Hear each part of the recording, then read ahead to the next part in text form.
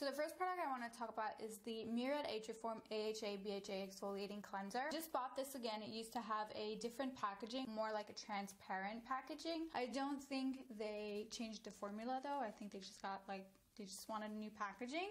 This is an exfoliating cleanser. It says it's an inten intensive triple action exfoliator with a proprietary blend of salicylic, no, salicylic, lactic, and glycolic acids.